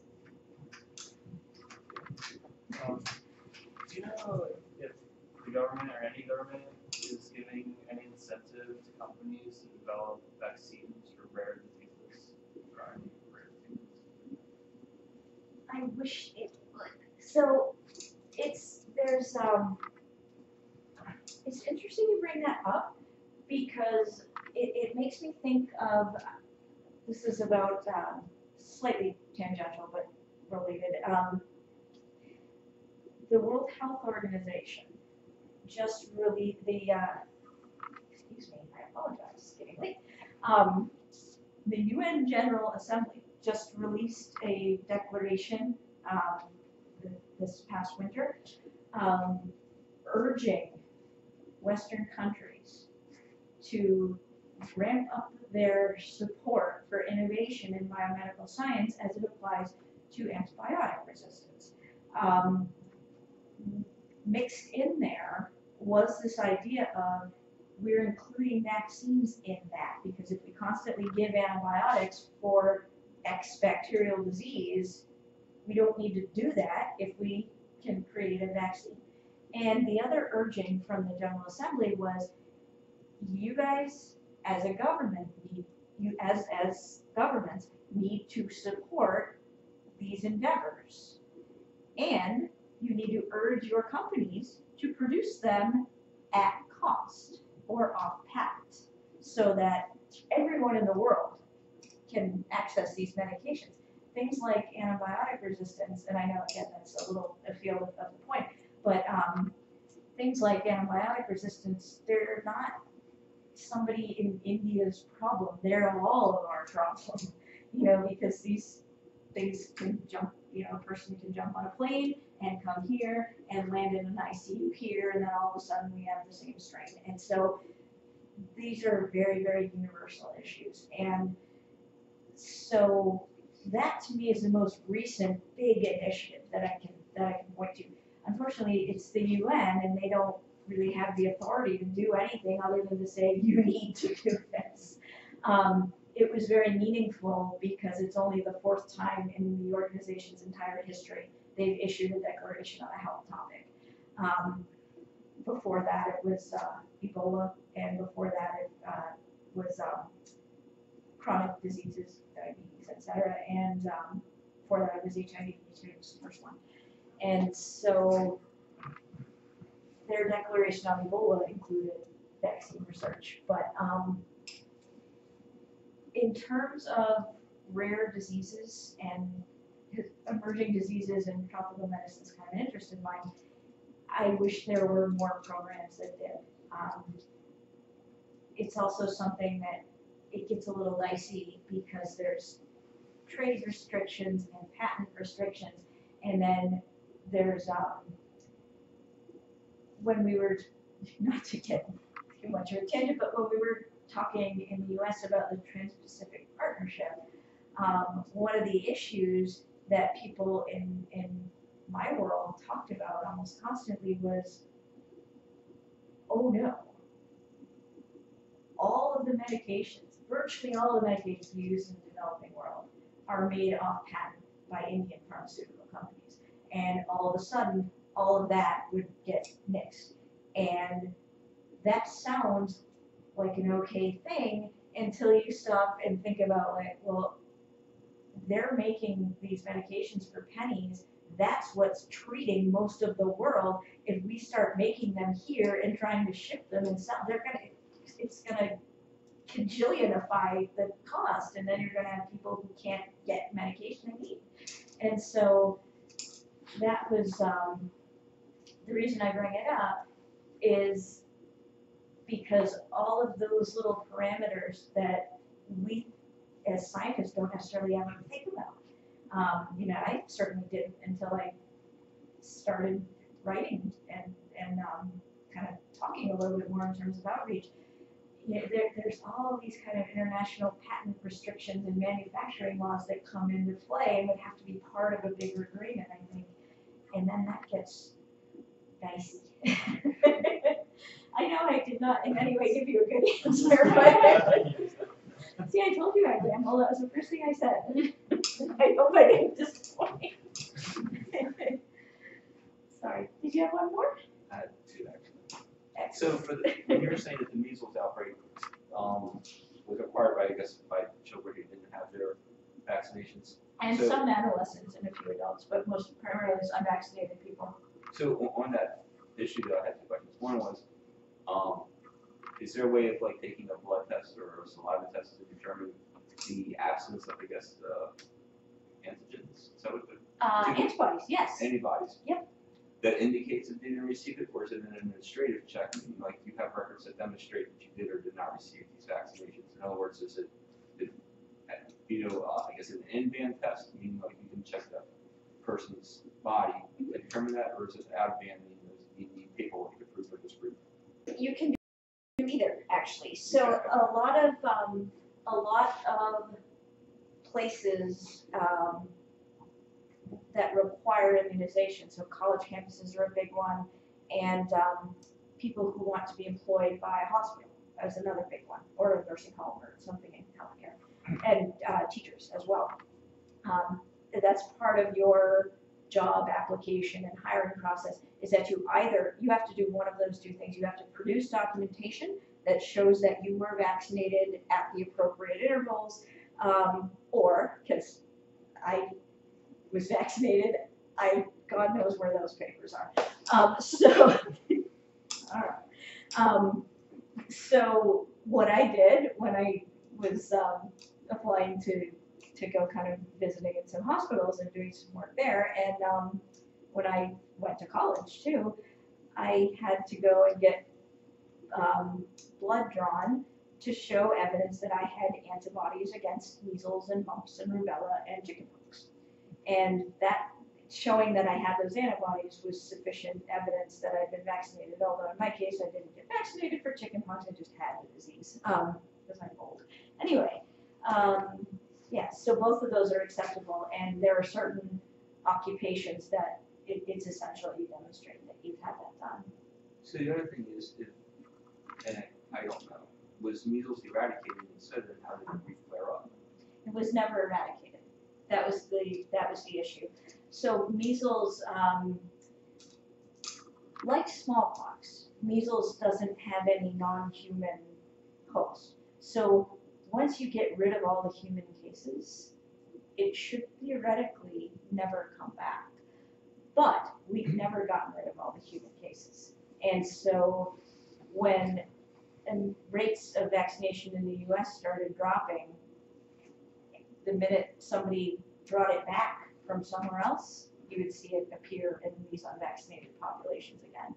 And so that's how it flared up again, is that it never quite went away first time.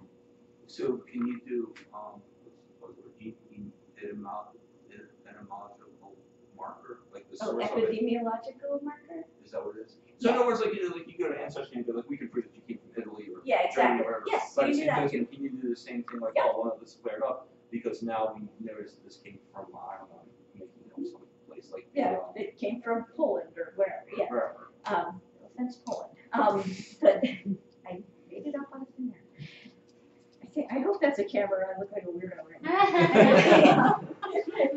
so, yeah, no, yes, you can do that. So, um, you can sequence all of the genes in any virus isolate. It's quite cheap and easy to do that these days.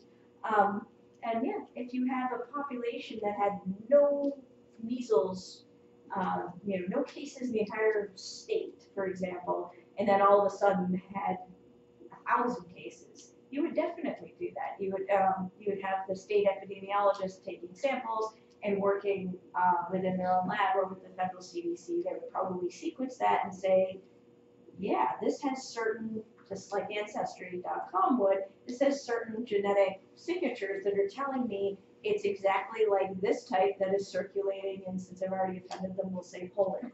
Um, so, yeah, you absolutely can do that. So is that done for the cases you're saying in New England and California? You know? So. I mean, you seem to be into this, which I'm not. I've just had these beer arguments with people about vaccination. That's why I'm here. I'm so into it, actually. Um, so, actually, they didn't really need to for those. And the reason was there was clear epidemiological links. Like, so they went and talked to the patients, and they were able to trace the story back from how these things came to the East Coast from the West Coast, where they had circulating strains.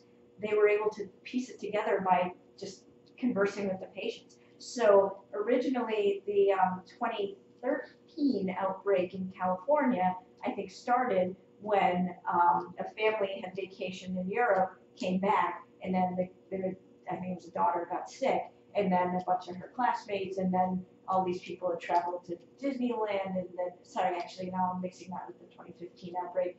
In 2015, all these people went to Disneyland, and then the stupid hand railing thing again. Then everybody got infected, and then those people went back to their parts of the country, and but all of that was pieced together with patient interviews. So old school epidemiology. Is the coverage for, in terms of when you get vaccinated for measles, is it still pretty low? I remember it being like eighty-five percent or something low in terms of how many people are actually, uh, produce antibodies enough that they wouldn't. So are we talking about vaccine efficacy Yes, or what's what's yeah. her threshold? Yeah. I wanted to make sure I limited the jargon when I was saying that.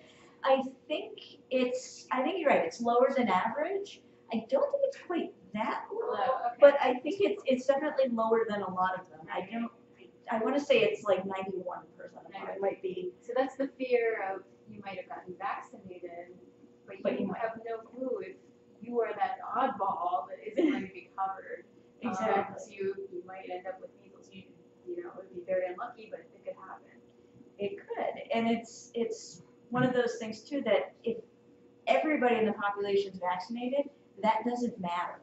Because the oddball is gonna be protected because there's so, there are so few susceptible hosts in the population that it's, not- it's very unlikely to ever spread to the oddball. No offense to any non-seroconverters in the crowd.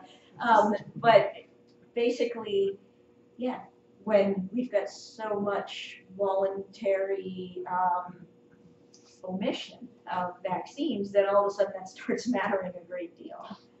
Um, and then one other thing that I think is important to point out, and I, I forgot because we got talking about dust and how it's not the same as medicine. Um, um, basically, it became um, clear when we're having these too much too soon conversations that a lot of people will say, well, why would you risk that? Why not give to space them out? And intuitively, there's not anything wrong with that per se. That's not going to hurt. It, I don't think it's going to help anything, but it's not necessarily going to hurt unless you stop and think about the fact that you're leaving a child susceptible to preventable infections that much longer. So, as a general rule, I wouldn't recommend it because I think that's riskier than there's no added benefit to doing that, and I think you are adding a risk. But that being said, if it's really critically important to somebody, he's not. It, it's it's a it's among the most. Um, it can be a compromise, I guess, would be a, a good way of looking at it. Is that if, if somebody is really truly uncomfortable, then okay, you know, as long as they are properly understanding the risk that they're taking, then fine. So we've been dealing mostly with vaccinating young, young things. Young And things. now, at my age, I'm being, there's a lot of vaccination being promoted to somebody my age. Mhm. And so I tried to think about each one of these sort of vaccinations that a doctor asked me to do. Uh, if I travel overseas, I got the Hep B because they wouldn't let me go otherwise. Um, you know, I tried to think about shingles or some other. Or pneumovax flu- or The flu, Yeah, or whatever, so, you know, how, how does, you know, how do we think about that differently, or do we think about it differently? Because I'm an organism that's gone so far, and, you know, I mean, I'm sure each of these is a different case, depending on what the vaccine is, Right. but. I think it depends on what the vaccine is, Mhm, what your personal risk factors are, mhm, and what the outcome would be for you as an individual if you contracted that disease. mhm. It's harder to make blanket statements. Yeah. Um, when you're dealing with an older population as opposed to when you're dealing with a childhood series. And the reason for that is, as you point out, everybody's had a very different trajectory to get to their point in life. And so there's always this argument about um, vaccinating, say, someone who's on chemo. Would you give them a flu shot, a killed flu shot? Absolutely, because it's not going to hurt them. And if they got the flu, that will kill them, um, given their health status. Pneumovax, same thing. It's it's one of these subunit ones that, that was discussed. So it's just purified. Um, it's it's purified uh, capsule from the bacterial cells, so there's nothing alive in there. It's just a, a an inert biological substance. And getting strep pneumonia pneumonia will kill you if you are on chemo. Then, on the other hand, if you think about the shingles vaccine, that's a live replicating virus. That, not a good idea for a chemo patient. Their risk of getting shingles and the consequence of them getting shingles is so much less dire than the other two. So it really is for for older populations, it really becomes almost an individual consultation for each patient Mhm. because you have to really look at somebody's history and what their general health status is, what other medications they're on. Um, and y- on the other hand, if you had somebody who had a perfectly intact, healthy immune system, um, but had a history of opioid abuse, there is no way you would let them walk out of their office without getting a shingles vaccine. Because I'm not giving you anything painful just in case you might go and, and take opioid pain drugs again. So, and your immune system is fine, you can handle a live replicating virus. So it's really much more individual in that regard. But the safety remains more or less the same, provided we're not dealing with someone who we know has a compromised immune system. Yeah, no, no, it's all right. So, I to give you ammo for your next beer argument. so- so, um, just to combine two statements you- had about the pharma and the developing world, the vaccines are being made in, um, produced in India. Is that, is that true? So like most of the, So not, uh, not necessarily vaccines, although a lot of them are. Um, mostly the uh, medications, say antibiotics, um, painkillers, antiretrovirals. Um, so almost all of the antiretroviral, um, so AIDS drugs programs that are used in Africa, those drugs are all made in India. They're not, even though they were invented usually by U.S. or European companies, they're not made there. They're made in India off patent. So most, so most of the, um, vaccines are administered to infants, children, teenagers? In this country, are made in this country, Correct. Yes. all A few are made in Europe, actually. There's, there's a couple of um, flu shot preparations in particular that are made by British companies, but by and large, yeah, they're made in. So the folks out side, sorry.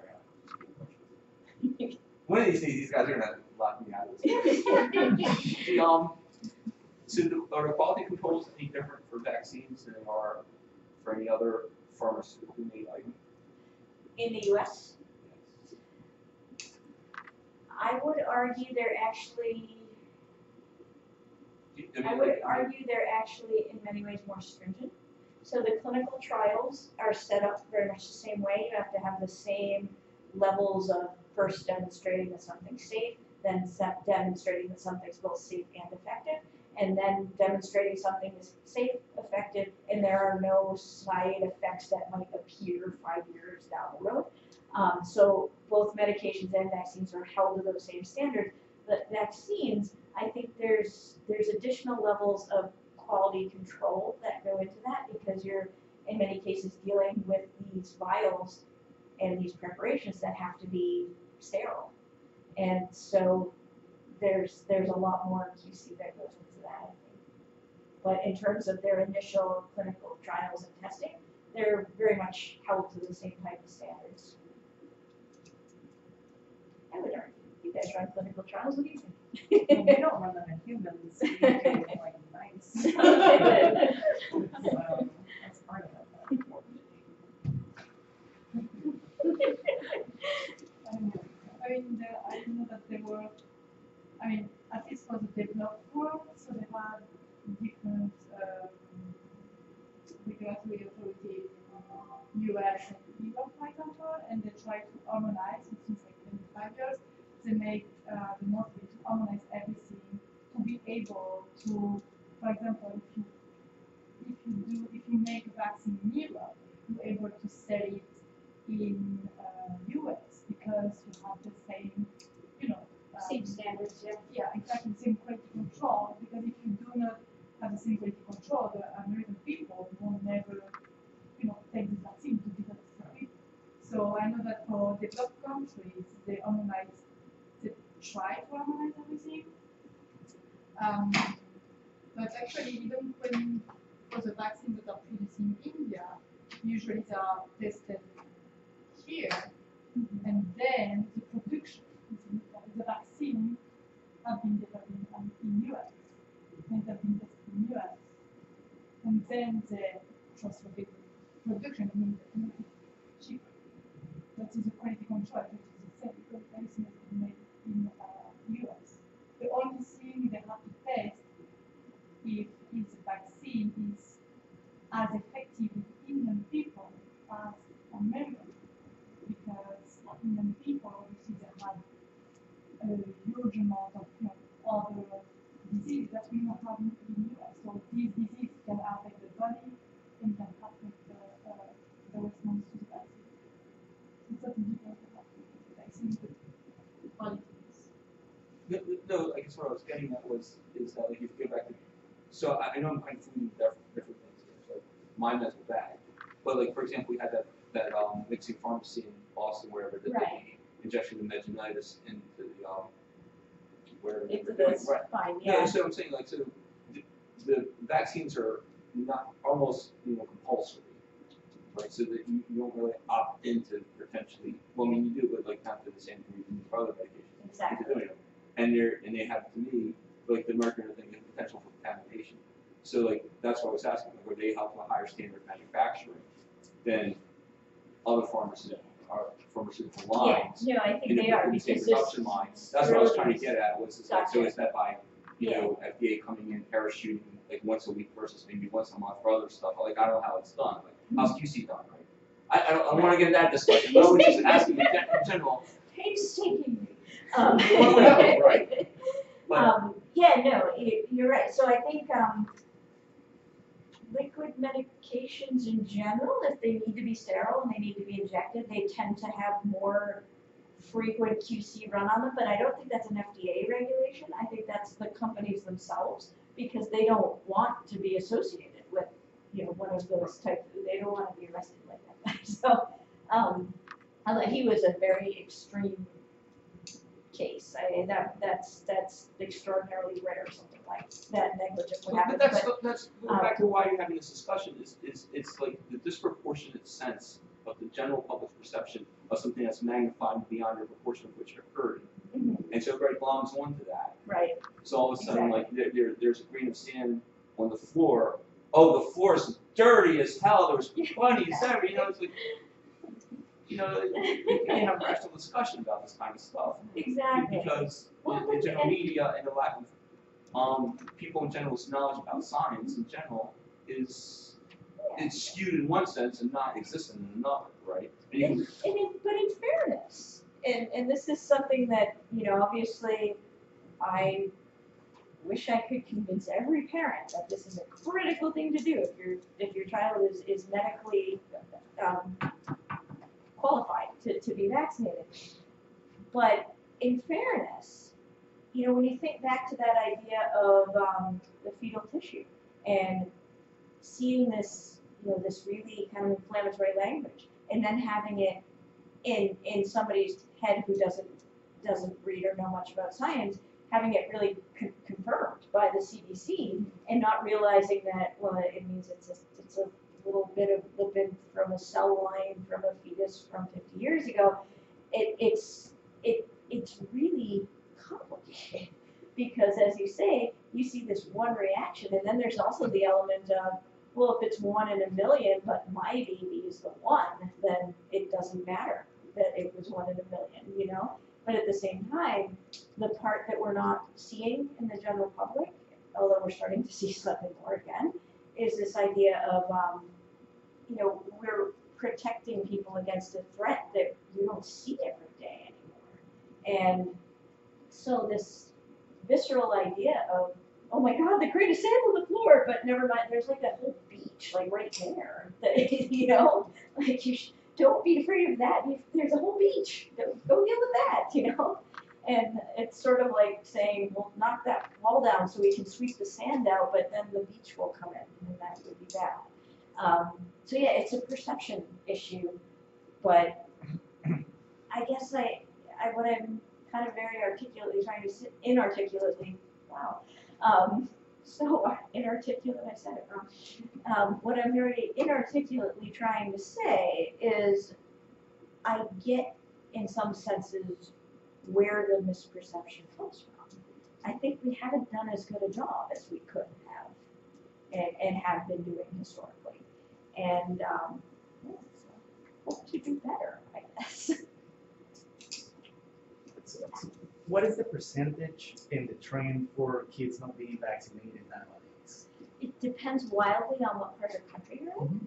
Um, so where I live, um, specifically in York County, Maine, uh, we are we are a little um, finger of Boston that reaches up into another state, and um, we have a lot of people who are very into natural health and blah blah blah.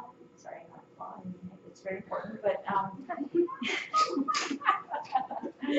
Uh, but it, so we have a lot of people who like a more holistic view of um, health.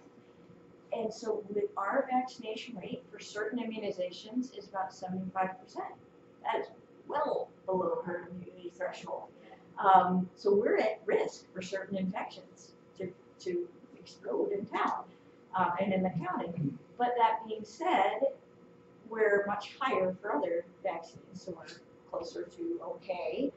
Um, if you look at, I'm, I'm trying to with an example. Um, actually, sorry, within my own state, if you look at northern Maine, their levels of vaccination coverage are much higher. I don't know why, just is. If you look at Illinois, Chicago has a rather lower than average um, immunization coverage rate. But southern Illinois, much higher, very close to maximum. So it's, it's very, very diverse across the country. That is actually really bad news. Because if you look at the US rate of immunization coverage overall, it's actually not that bad. It's like 94, 95%. But that's reflective of large parts of the country being 100% covered and others being much lower. The bad news is when you get a population of people who are below herd immunity threshold, you put them all in one place, that's when you're starting to get people, a lot of people getting sick. Um, if those people were paved across the country equally distributed, we would probably be okay. But they're not, they're clustered in one place. So rates in Southern California are a little bit in flux right now because they've been having measles and pertussis outbreaks for the past three or four years. Um, so now people are starting to revisit the idea of not vaccinating their kids and, and changing their minds. And they've also changed quite a few state laws to try to bolster that and make it more difficult to get exemptions for your kids. Um, and so the rates from California a couple of years ago no longer apply to right this moment right now. But Southern California, uh, certain counties in Southern California were in the sixty percent range. Right? That's that's lower than a lot of developing countries. So that's that's just that's just not good. That's just not high enough. Has there ever been a lawsuit brought against somebody who wasn't vaccinated who transmitted the disease? So that's an interesting question. I think there are some pending in California. What I want to know, and what I have always wondered, like for years, um, but what I've wondered for years, is these people who go on TV and claim expertise and found these groups and establish these groups and offer, essentially offer medical advice and dissuade people from getting vaccinated and people who sell books on the matter. I'm curious if one of, I want to see a lawsuit where one of them gets sued because that would be really hard to prove, right? Like I made this decision because I read this book, but it, to me, it, it, it's a really interesting legal question. If a child dies because a parent took this advice yeah, and, and they're insist, insistent that this is real medical knowledge, are, are, aren't they somehow culpable? And that, that seems like it would be to me, but I'm not a lawyer, so I don't know. It seems like, I don't know, something about proving intent or something would be in there, I don't know, but, um, that's what I'm curious about. That it, it seems to me like those, those guys who were, you know, just kind of making their name and their living off of this cause, I, I, mean, they, to me, they got a lot of blood on their hands, and, um, I don't know, I don't know how you, how you hold people culpable, but I, I'm curious as to how slash when that would happen. Um, if I ask this question right, uh, are there any administration methods that may not elicit, say, a primitive response from the parent? So say somebody gets a needle, right? The mother or father may be concerned, whereas say a non-vector mosquito lands on someone bites them, you don't feel it. So uh, this, here's a question. Um, are there any other options besides just a needle to administer? Sure, Uh, so- obviously there are, but I mean, So- something that's not gonna cause the child. I mean, Right, no, no, I'm with you, I'm with you, it's so, just um, confusing. Like, no, I, I, I'm with you, so you basically, um, so there, there, there, yeah, so there's, um, so there are oral vaccines. So there's a, the rotavirus vaccine we talked about is, is oral. Um, it's not routinely given in this country, but if you travel, there's an oral typhoid vaccine. It's actually just pills that you take, um, and swallow and whatnot. When I was a kid, our polio vaccines were oral, and, um, now they're a shot, but the, um, so that's, that's one thing. There, there's an inhaled, uh, flu vaccine. It's, was not used past year because it turns out it doesn't work quite as well as the injection. Um, so pick your poison. Uh, Um, there's also, um, the smallpox vaccine, the way it was administered was, it wasn't a big intramuscular injection, but if you look at the, um, the arm of someone who's a bit, bit older, like my mom has one of these scars, Apparently topical. Um, and, and, basically what, what can happen is, or what would happen is um, could take something that's more like a, more like a pin-shaped object, and instead of doing a big giant IM injection, you would just do like poke, poke, poke, poke, poke, poke, poke, poke with this pin, which I don't know if that's better or worse. It didn't hurt as much apparently, but it went on quite a bit longer, so I don't know you know, what the preference is. But um, there's also something called for DNA vaccines, which we don't have any license yet, but if we ever do, uh, you can administer them by something called a gene gun, which sounds crazy, but it's basically, um, it's basically this device that has, um, DNA coupled to some heavy metal particle, it's usually gold or something like that. And, um, it's placed against your skin and it's just like a puff of air. It almost, apparently it almost feels something like a glaucoma test if you are of my age range and have had one of those. Um, so it's just, yeah, it's just like a hard puff of air. So it's much less painful than getting a, getting an actual injection. Um, so there are other ways, but it, it, it's, it's tricky because, um, but taking something orally, you have to think about, um, you know, whatever you're vaccinating against has to survive through the digestive tract. And so that's why something like rotavirus was perfect. I mean, it, it does survive through the intestinal tract. Are there like ADME properties for the vaccines, is that just for? Sorry? The absorption, distribution. Yeah, exactly. So there's all the pharmacokinetics and dynamics that you have to take into account. And um, that's for really, uh, really sharp chemistry people to think about. But, so there are other routes of administration, but it's a little more challenging. And then the other aspect of it too is that if you um, inhale or swallow something, you're going to primarily elicit something called mucosal immunity. So there's there's different um, types of immune cell populations at different spots in your body, and the ones that live in your muscles, or, or sorry, under under your muscle tissue, um, are of type A, and the ones that live in your nose your lungs and your gut are type B. And I'm thinking of A, X, and Y, whatever you want to think of it as. Um, so the immunity that you generate might be slightly different depending on how you administer the virus. So for Rota and oral polio vaccine, like swallowing was actually perfect because they, their primary site of replication is the GI tract. So that just gave you the perfect type of immunity for those.